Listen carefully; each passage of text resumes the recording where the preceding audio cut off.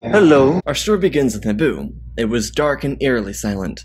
Padme was wandering through the empty city streets. She was looking for someone, but who she was looking for she didn't know.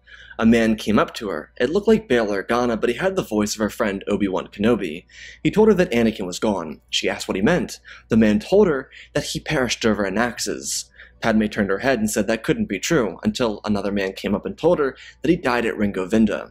Another person told her that there were rumors that he was captured by Dooku at Boz Pity. Finally, she saw a little green life form who told her that Skywalker died on the planet of Cato Neimoidia. Ahsoka couldn't save him and he crashed into the side of a mountain. Padme was so confused, and she pushed past the people and continued. She ran from street to street, and then the street was quieter. She felt a chill roll down her spine. She looked forward and saw a pathway. The city around her vanished, and she was far away from Theed.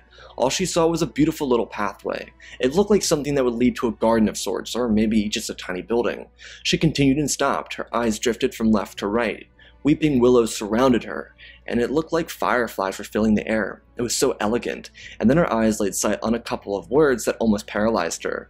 They read, Here lies Padme Amidala, former queen of the Naboo. The shock almost lifted her from her feet, but she carried forward. It's not every day you get to see your own tomb.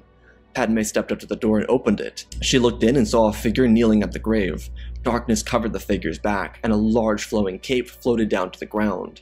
The sound of the door opening got the attention of the shadow. On the ground, Padme noticed a skull-like mask. It looked like the anatomy of just about any human, but there was a metallic eeriness to it.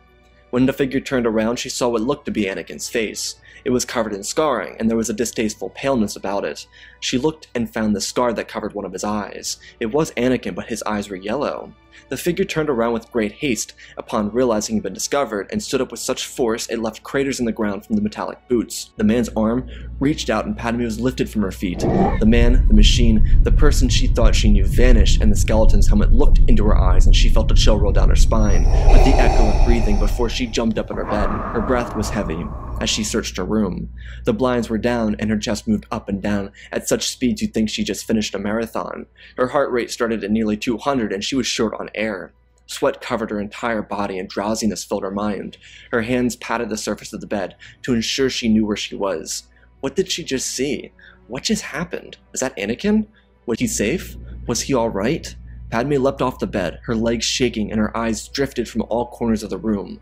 She couldn't see it, but her eyes were bloodshot. The speed at which she rose from her slumber should have popped a blood vessel in her eyes. The terror she felt in such a short moment couldn't be put to words. It all felt so real, and yet she had to pass it off as just a normal nightmare. Padme walked over to the window to open the blinds. She had a busy day ahead of her. That is until the building she was in was rocked. That was odd. Maybe they were doing construction. When she opened the window, she was completely caught off guard by what she saw.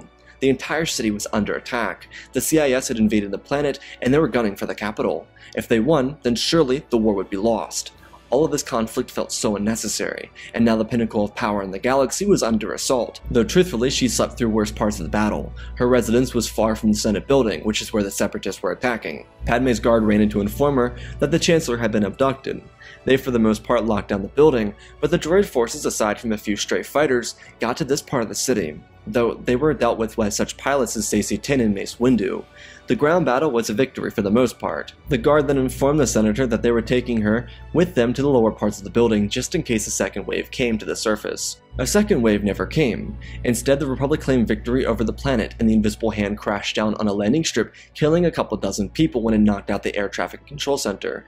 A number of hours later, after the battle, the senators would be allowed to return to the Republic Executive Building, where they converged to find that Palpatine had been rescued, and on top of that, Skywalker hadn't died.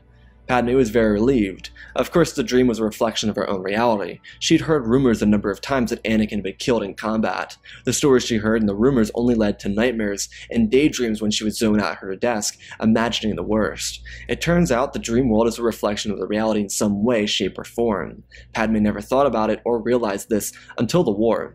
With so many nightmares about Anakin dying, she didn't want to imagine the possibility of them being real. But he was here, right in front of her, and after a short embrace, she told him what she had heard, and he told her that it wasn't of worry. At this point, they weren't really hiding their relationship, canoodling in public and such. But Padme did have news for Anakin, that she was pregnant. What a turn of events. This changed the entire dynamic of everything. But it would be alright. Everything would work out in their favor. This was in accordance to what Anakin thought. Padme was definitely, and rightly so, worried about the prospects of that. They had to split up for some time during the day, but that night, they'd be able to join each other at Padme's residence, where they would at least have the luxury of spending time together in privacy. They would spend the entire time catching up and talking about what each of them had gone through since the last time they saw each other. It had been months at the very least. When the two of them went to bed, they each were given a number of struggles in their dreams. Anakin had nightmares put into his head by Palpatine. However, being that the Force works as it does, considering it brought Anakin to life because of Plagueis, it would play the same trick on Palpatine. The Force used Palpatine's motivations to sway the balance of the universe back into place. What Palpatine was doing was essentially cheating. Anakin's free will, as an individual, would likely stay where he needed to be without the nightmares. However, with them, it offset everything. So while Anakin was having nightmares about his wife dying in childbirth, Padme was gifted dreams about Anakin becoming Darth Vader. By comparison, Anakin's dreams were very tame. What Padme experienced was pure terror. She found herself in a small village. There were people all about happily. It was daytime. That is until she heard the breathing. The day fractured into a desolate darkness. All the people that were walking around helplessly lay on the ground, dead. Their bodies torn apart, faces disjointed, limbs were facing ways that limbs shouldn't face, and children were ripped from their families. It didn't even look like there was a fighting chance for any of them. It seemed like everything was done as a result of enjoyment, like whoever did this enjoyed tearing people apart. Padme ran over and looked at the bodies. Everything felt cold. She heard the breathing again, and she turned around and saw a red lightsaber being held by the same dark figure from the previous dream. She yelled out demanding to know why he did it. The figure turned around and looked at her. The lightsaber fell to the ground, and it stepped forward and told her that he needed help. Padme asked why she should help him, and he told her that they were married. Padme spoke back, telling him that she didn't believe him. Anakin could never be so vile. The hands of the metallic figure reached up to the helmet and released a puff of air. Unlike the previous dream where she couldn't tell, well, really tell, when the helmet was taken off, it looked just like Anakin this time. There was no burn scars and his skin wasn't deathly pale. His eyes were still blue and he looked over at her with pain in his eyes. She asked what happened. He told her he couldn't say. All he could do was ask for her help. He didn't want to keep doing this. Padme asked what he meant by that, and Anakin told her that he didn't want to keep murdering helpless people to fill a void that sat in his own heart. Padme got up from the ground and asked where it started. Anakin shamefully looked away and said his mother's death. He told her that he didn't want it to become reality. When Padme jolted from her sleep, she wasn't as deathly afraid as she was last time. But something was off. Her eyes paced around the room, and she found that Anakin had left, so she got up to see where he was. When she walked to the edge of her room, she saw his silhouette the hallway and nearly fell off her feet. All this stress surely couldn't be good for the pregnancy. She looked down the hallway and thought she saw the same silhouette from the dream. He looked like the same thing. If that wasn't a wake up call, she didn't know what was, so she pinched her shoulder to make sure she wasn't imagining what she just saw. In her mind, she paused. She wanted to make sure she was sound before she went forward. As she moved forward, she got Anakin's attention by dimly lighting the room. She asked if he was alright, and he told her that he had a nightmare, similar to the one he had about his mother just before she died. However, this time the dream involved Padme. She asked what had happened, and he told her all the simplicities of it. She died in childbirth, and he didn't know what happened to the child. Padme suggested that it'd be alright, but asked if he was doing okay, because she had a nightmare too. Anakin asked what she meant. She asked Anakin again to tell her how he was feeling if the war made him feel like a different person or if he altogether felt like he changed because of it. Anakin was a little confused and asked where this was coming from, and so she sat down and looked up at him. She felt like for a moment she was inside the same dream. She asked Anakin what he felt when he killed the Tuskens three years before. The reason she was inclined was because of the Anakin that just mentioned the dreams he had of his mother, and the Anakin that was in the dream mentioning his mother. If Anakin had dreams about his mother and had no issue slaughtering a bunch of nomads in the desert, then what would stop him from doing the same this time. The reality of the situation is that Padme accepted that she wasn't a martyr. However, if she died in childbirth. She didn't want people to suffer for it. She was in public service. The entire point of her job was to help people and ensure they got treated better in some way, shape, or form. During her early political life, she helped a number of people on a dying planet and they all eventually died. She told the story to Anakin years before, and yet now she feared the possibility of her death affecting others. Padme's maternal instinct kicked in with this, as she felt that if her child lived and she died, she'd be okay with that. She wouldn't be okay if her death was responsible for the deaths of people elsewhere. Anakin looked at her and thought for a moment. It was a weird question, but he told her in the moment that he felt better about it, and afterwards he felt a bit ashamed. He then asked her why she asked him that question. Padme looked at him and told him that she'd been having nightmares, at least for the past two nights. They were accompanied by Anakin, but not the person she fell in love with. Rather, it was someone she didn't know anymore, and She said that that version of him didn't say anything except for one thing. He asked her to help him. He didn't want to keep doing it. Anakin asked what it was, and he felt coldness drift through the air. Chills rolled down his back before she said anything.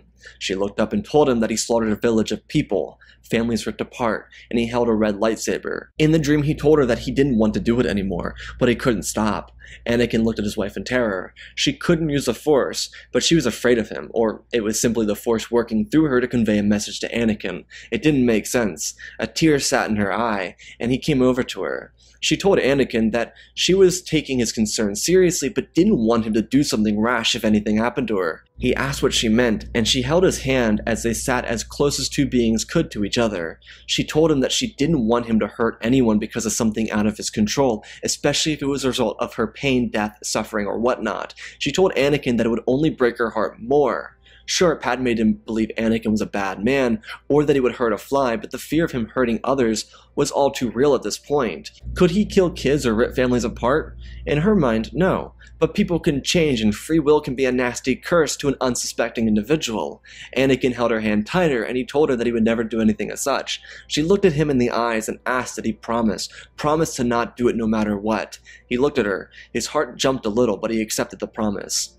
When the next day came, Anakin would have a conversation with the Grand Master of the Jedi Order about his dreams. Anakin did make a promise, but he couldn't help but see if anything could change the future, and Yoda simply told Anakin that he needed to train himself to let go. It was a genuine message and one that kind of played off the promise he made to his wife. Yoda's suggestion of letting go allowed Anakin to see that maybe he should actually just let events play out before he acted on them, though he was unsure. However, what Yoda said about sensing the future reminded him of the dream that Padme had. It was a little funky, him using a red lightsaber and slaughtering people. It's not that Padme suggested they were Tusken Raiders, they were just people that he just slaughtered, people of a random village. Could he actually really do that? In his mind, he didn't believe so, but part of him feared the idea that he could. He had no issue doing it to the Tusken Raiders. After his meeting with Yoda, he went back to his room and thought about it. He then called Padme's personal communicator, but she didn't pick up. Fair enough, she was working inside the Senate. In the coming hours, Anakin would be entrusted with spying on the Supreme Chancellor, a goal that he wasn't exactly fond of. The actions of the Council were furthering him from the Order, but at the very least when he was told that he didn't have the rank of Master, he didn't throw a hissy fit inside the Council chambers. He was just trying to practice what Padme had said, and even what Yoda had said. The council brought him into their ranks as a high honor, and to do so without the rank of master was also a high honor, at least from their perspective. Anakin's practicing of letting go was really difficult. He wanted to try and throw it back into the council members' faces, but he decided not to at the last second. Something about the dream Padme told him about was really etching away at him. The way he just seemingly killed a village of people without provocation kind of worried him. The way it was described, it seemed like it was something that came out of nowhere, like he was doing it to fill a hole in his heart. So when he looked at Windu and the other council members after he was told he wasn't a master, he pictured himself surrounded by their dead bodies. He didn't want that. He may have not agreed with them, but disagreeing with others didn't warrant their dead bodies strewn about a room. When Anakin sat down in his seat for the first time, he thought about how different that could have been if he had gone against the Council on their decision. Everyone was already on edge. Mundi, Depa, and Plo were already on different battlefronts, and many other masters were about to be dispatched elsewhere in the galaxy. As the session continued, Anakin's mind went into dreams from the previous night. The conflict that arose in his heart left him confused to say the least. Of course, after the session, he learned about his new mission to spy on the Chancellor, and after a small discussion with Obi-Wan on the matter, he returned to Padme's residence. He had to wait for a little while until she got back from the Republic Executive Building. When she returned, she noticed how bent out of shape he was. When she asked Anakin what was wrong, he told her that he didn't know what to think. He wasn't positive on how to feel about the Jedi anymore, but the same went for just about everything. She asked what he meant. He told her that Yoda suggests he learn to let go. He expressed his discomfort with how he was portrayed in her dream. He suggested a lack of trust in the Jedi. Most of what he was doing was alluding to deeper messages, but he wasn't telling the full truth, which was inevitably creating a divide in the relationship. Communication without expression or even a lack of communication divides a sturdy base and deepens a chasm in an unstable base. She asked that he come out clean and he tried to shut her out, but she asked again that he be upfront with her. This game of cat and mouse wasn't healthy for their relationship, especially not if they were soon to be parents. They needed to have an open pathway to trust, and if they kept avoiding it, then they would destroy themselves. She stood up and followed Anakin to where he was standing, and she guided him back to the sofa and they sat down. Anakin finally opened up, slowly, one word at a time. Opening up was never easy, it wasn't meant to be, but getting things off his chest was better than shoving them down and allowing them to overtake him.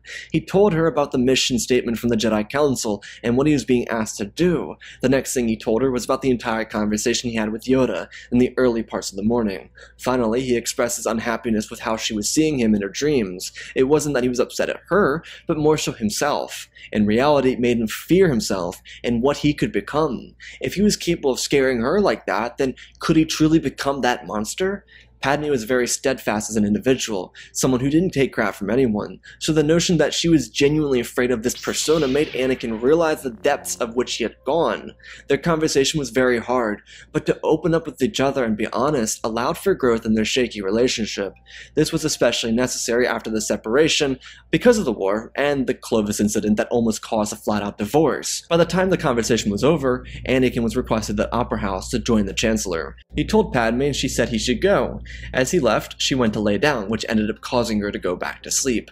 The first two dreams were bad, but this dream would be the worst out of the three of them. The previous two dreams highlighted negative traits of a future she could never predict. This dream, on the other hand, told her exactly who her husband could become. The irony of this dream is that it happened at the exact same time as Anakin learning the tragedy of Darth Plagueis the Wise. The dream was eerie, in a similar way to the first one, but brooding like the second one. This time there was no suit, it was just Anakin. Surrounding him were the discombobulated bodies of those he was friends with and served with. Anakin was facing away from her when the dream started. She could tell it was him, and she was very happy. He had this poise, the kind of poise that you knew it was Anakin Skywalker, but then she saw his lightsaber swing about in his hand. Her eyes moved from the back of his head to the ground, and she saw right beneath his boots a number of bodies. Not just any bodies, but younglings. The children were strewn about as if they were trash, not even worth the time of day to even notice. The horror in her heart only continued. Her eyes moved from the younglings down to her own feet, where Ahsoka lay, her eyes still open but soulless, and Obi-Wan, he was cut down. Next to him was Captain Rex, and a number of other people close to Anakin. As Padme moved her eyes back up, towards Anakin, he told the people in front of him that he would do anything to make it right. Mace Windu, Yoda, and Plo Koon were all cut down simultaneously. She couldn't believe it. Anakin turned with a glare in his eyes. Yellow filled them, and he looked back at Padme, and she almost fell from her feet. She felt incredible pain shoot through her body, and the actions of Anakin caused so much fear for her that she had a miscarriage. The moment the wave of realization washed over her, she shot up from her sleep. Tears streamed down her eyes and she leaned against the backboard of the bed. She looked around and felt her stomach. Everything seemed alright. This was too much. What was happening? Why was she having these dreams? What was Anakin doing, or what did he do that caused these? Was it Anakin, or was it fear? She couldn't stop these thoughts. All she could do was try to understand, try to make sense of it all, and yet she couldn't. All she felt was terror, and for a good reason. It wasn't more than a couple minutes after she woke up that Anakin returned home. He didn't know she was still up, but made his way to the bedroom to make sure she was still there, and when he walked in, she was almost inconsolable. She couldn't manage to get the words from her mouth, and she felt so scared. What she saw was a clear indication that her greatest fear fears could seemingly become reality. Once she calmed down, she told Anakin about the dream, and a blast of chills and heat rolled down his skin. His body trembled, and it felt like there were worms crawling up and down the interior of his skin. The itch was incurable for the first time maybe ever in his life. He felt true fear for what he could become. He never had to look in the mirror and see how far it could truly go, and now he did. This wasn't the war, the Jedi, Palpatine, Windu, Yoda, or Obi-Wan. It was him. Every dream pointed in that direction, in the same direction that if he carried down his path, then he would become absent from himself, subjugating not just those he cared about to a life of pain and suffering, but also himself. Could he legitimately live with that? Anakin now had an issue. Who should he confront on this? Obi-Wan and Yoda were gone.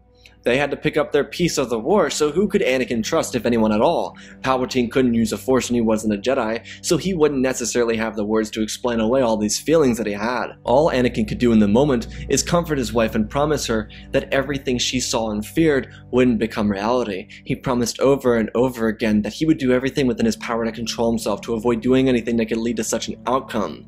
This nearly had Anakin staying home the following day, but he was requested to the temple once they learned that Kenobi had engaged General Grievous, which had Anakin going from the temple to the Republic Executive Building, where he encountered Palpatine. The Chancellor was hopefully optimistic that Obi-Wan would be up to the challenge. Palpatine could sense that Anakin was off balance, and he assumed that his plan was working, especially with a little touch of Darth Plagueis the Wise. He pushed Anakin a little further and informed him of being the Sith Lord, essentially. Anakin initially ignited his weapon, but thought of the nightmares Padme had, and left in a rush to inform the High Council, which was Mace, Fisto, Tiin, and Kolar. Their orders wanted Skywalker in the Council chambers until they returned. Anakin listened, and once their gunship was out of the hangar bay, he left for Padme's residence. She was there currently, and he told her what he learned. Padme was very confused, but if it was true, then she needed to act quickly. Anakin asked what she meant, and she explained that if Palpatine was apparently the Sith Lord, or in simple terms, conspiring with the Separatists, and the Jedi Council went to arrest him, then they needed to ensure that the Jedi were not seen as trying to take control over the Senate. Padme got up and told Anakin to come with her, if he wanted to protect his friends. Then they needed to do this and go to the Senate building. While they moved for the Senate building and Padme called upon an emergency session, a massive brawl was taking place inside the Republic Executive Building. Jedi Masters Mace Windu and Kit Fisto were the only two members of the High Council showing off against the Sith Lord. Their duel was initially going badly, but without any distractions in the form of Skywalker, both Jedi Masters were able to defeat Sidious and force him to surrender. Mace had no intention of killing him, believing that they'd prove his crimes against the galaxy to the Senate. It would have been a lot more difficult, however, with the aid of Padme would make their process a lot easier.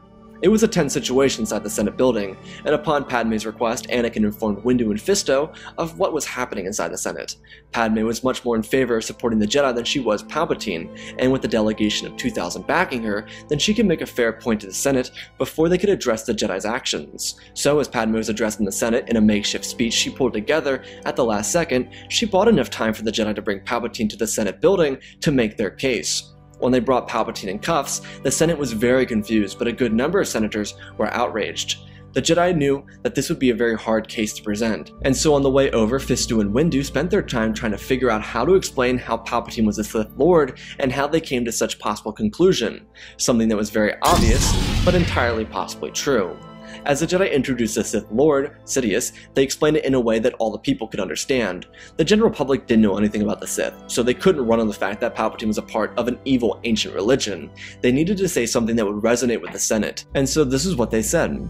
They came off the back end of a great speech laid out by Padme about how corruption had flourished since the Clone Wars started, and Palpatine's ascension during the Clone Wars has only ruined the ability for the Republic to reach a place of peace. Mace Windu spoke in front of the Senate and he told all of them basically the same of what Padme said, and then he told the Senate that there was a correlation between the Sith, the Trade Federation, the invasion of Naboo, the vote of no confidence against Chancellor Valorum, and the rise of Palpatine's power. It was too planned to be coincidental, and so he connected them, suggesting that Palpatine was behind the Trade Federation's invasion of Naboo and the multiple assassination attempts on Padme over the years. To clarify, Mace wasn't even sure if this was true.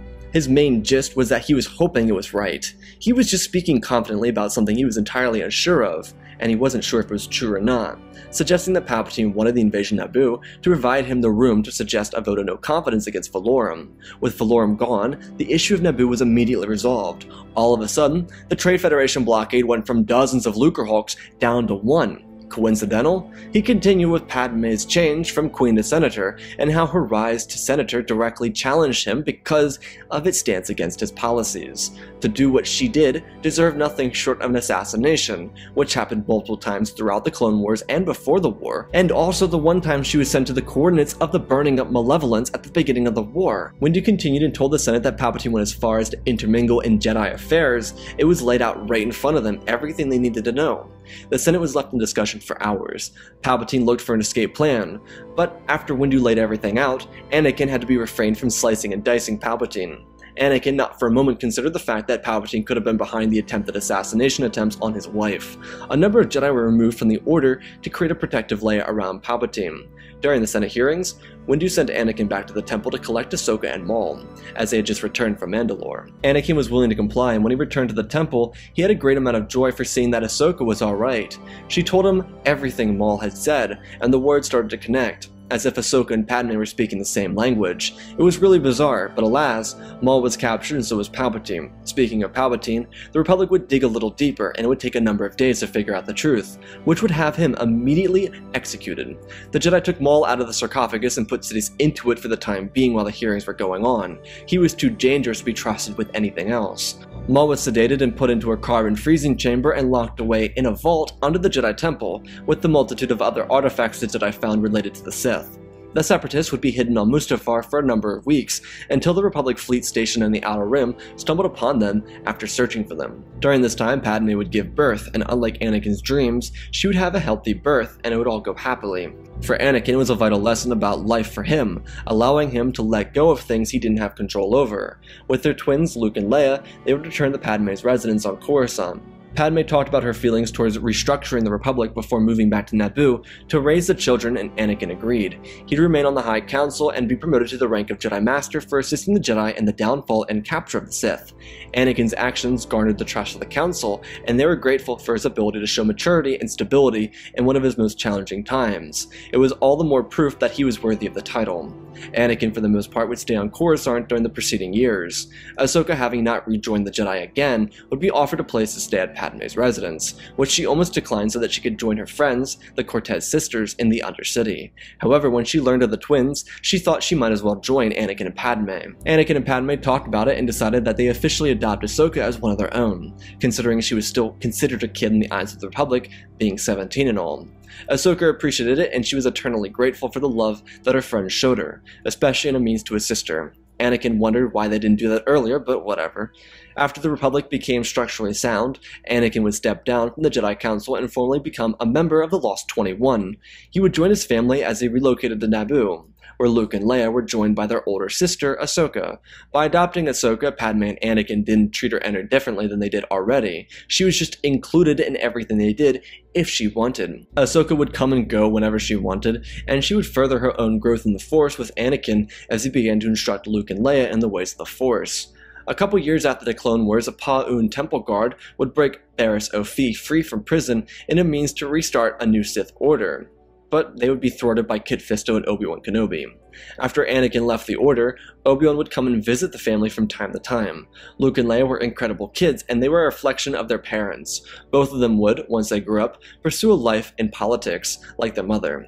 The two of them replacing Jar Jar in Naboo's Senate, and both of them trying for position at the top of the Republic. But that would take time. With the darkness vanishing from the galaxy and the Jedi returning to the role of knights, the galaxy began to heal in an era after the Clone Wars. And that, ladies and gentlemen, is our story. Again, special thanks to Galvin Gaming, Tristan, Darth Revan, Pimp Diddy Bane, The Last Jedi, Apollo, Jedi Sloth, Mr. Yeet, Gamer, Flynn Vassis, Mad Manny Studios, Anakin003, Lemon Knight, Rex the Wolf, the man with three first names, Dark Saint 46, and Lord Deadwing for supporting the channel. Let's talk about our story. So this was kind of fun. Uh, I got a couple other stories involving dreams and visions coming up soon, but um, this was fun to do with Padme kind of taking the reins as the main character. I really need to put like mirroring and foreshadowing into this, and that's what I was really trying to do. Like Vader inside of the the tomb, that's taken from I believe the comics or like a fan animation. The scene inside of the, the city streets, that's like Mapuzo during the Kenobi show, and then finally the last one is uh, I think that's also a comic where Anakin like well Vader becomes like Anakin and he's like super god kind of thing and he just destroys everything. That's kind of what that was a reflection of. But for the most part, I really wanted to follow Padme's journey on this. I wanted to convey her fear as best as possible and make her fear feel realistic. And we don't usually work with Padme as a main character in these stories, so I really I really worked hard to make sure that she felt the main character. You know, she she's the title character in the story and I wanted to make sure that like everything that she was feeling was conveyed as naturally as it could be to Anakin.